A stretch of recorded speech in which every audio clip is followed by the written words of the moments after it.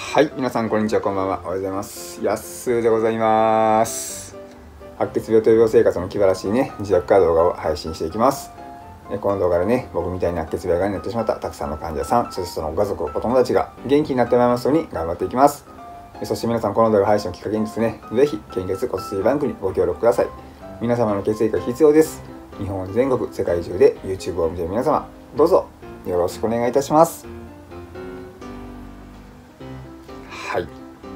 えー、その1日前の動画でですね、まあ、ここ最近起こってる動機についてお話ししたんですけども実はもう一つ動機の原因かもとしてねアドバイスをいただいたものがありました。それはね鉄分の取りすぎによる鉄中毒かもねでした。まあ、野菜生活をしていることをね見てくれてる人は知ってくれているので、まあ、何の野菜を摂取しているのかわからないけど鉄分の取りすぎによる鉄中毒とかもあるかなとねコメントをいただきました。なのでね改めてね食べてる野菜をね書き出してみました。それはですねちょっと待ってくださいね。あったあったあった。えー、いきます。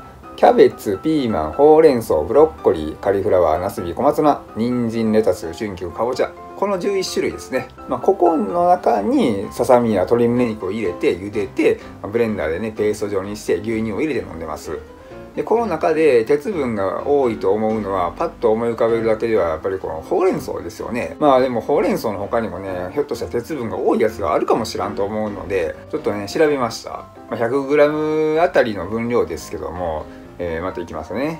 キャベツが0.1、ピーマンが0.4、ほうれん草0.9、ブロッコリー0.7、カリフラワー0.7、ナスビ0.3、小松菜2.1、小松菜が2.1もあるんですね。すごいですね。えー、人参0.2、レタス0.3、春菊1.2、かぼちゃ0.6。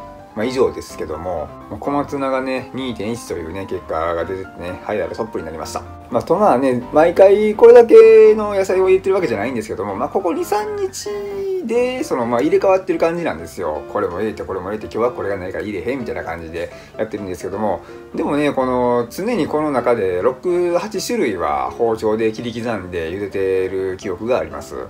ちゃんとね、グラムを測って入れてますよ。各 50g ずつ入れてね。で、200g の水を入れて、ブレンダーでペーストの後に牛乳ですわ。野菜以外ではね、アサリを入れてます。アサリにはね、そう、アサリも調べたんですよ。アサリにはですね、1、動脈硬化予防、2、高血糖予防、3、貧血予防、4、骨粗鬆症などの予防に効果があります。アサリはミネラルが大変豊富な貝なので貝類の中でも最もビタミン B12 の共有量が多いのが特徴で他にカルシウムマグネシウム鉄分タウリン亜鉛クロムなども含まれています。栄養成分と効果えビタミン B12 造血作用に重要な鉄分とビタミン B12 を含むアサリは悪性貧血を予防するのに効果があるので貧血症や妊婦授乳中の方に最適です。えタウリン。アサリにたっぷりと含まれるタウリンはアミノ酸の一種で血中コレステロールを抑制し血液をサラサラにする効果があり肝機能を正常に働くのを助ける効果もあります、えー、亜鉛銅クロム。亜鉛や銅は血行を良くする効果があるので肌ツヤを良くする。や、えー、髪抜け毛切れ毛枝毛などの改善に最適です。また亜鉛は味覚障害も予防し亜鉛とクロムはインシュリンに欠かせないミネラルで糖質代謝に効果があります。カルシウムコスト少々の予防に効果があります。ねえすごいですよね。もうアサリなんて今の僕にぴったりでしょう。でそしてねアサリの鉄分もね 調べたらね3.8ありました。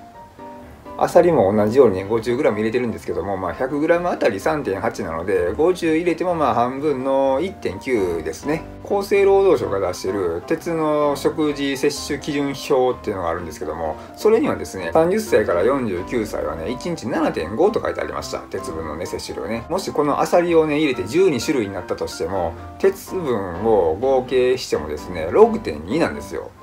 7.5まで及んでないし6種類から8種類にねしてもね半分としてね3.75約3.75ですね。でもねこれここ最近はないんですけども朝昼晩の3回飲む時もあったんでそうなると 3.75×3 だから11.25やからめっちゃ超えてますよねこれね。納豆はね 100g あたりのね鉄分がね3.3でした。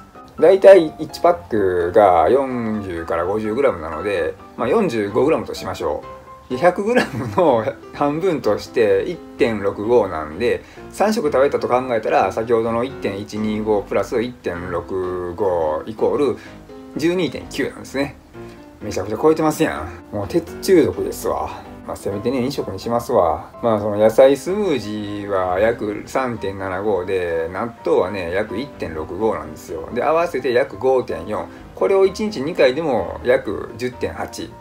超えてまんがな、これ。野菜飲みすぎ？納豆食べすぎ？もう何食べたらいいか分からなくなってきました、ほんまに。もし鉄中毒が原因やとしたら要は食べ過ぎちゃうわ。飲み過ぎやんかったらええんでしょ。う、まあ、それか種類を少なくするかまあ種類を少なくしてもね同じ量飲みたいでしょうか。あとはどうしたらいいんかな。鉄の少ない食材をね多く使ってなどまあ工夫をすればええんかななんてね思ってきました。まあでも小松菜がね2.1と春菊が1.2が上位なんで避けてもええんかななんて考えてますけどまあ、小松菜もね春菊もねそれなりに栄養があるんで食べるの飽きませんけど食事って大変やなほんまに。でもつくづく思いますわ。こんなこと考えなあかんのってほんま大変ですよ。ちょほんまにね全国のお母さんにね感謝せなあきませんわ。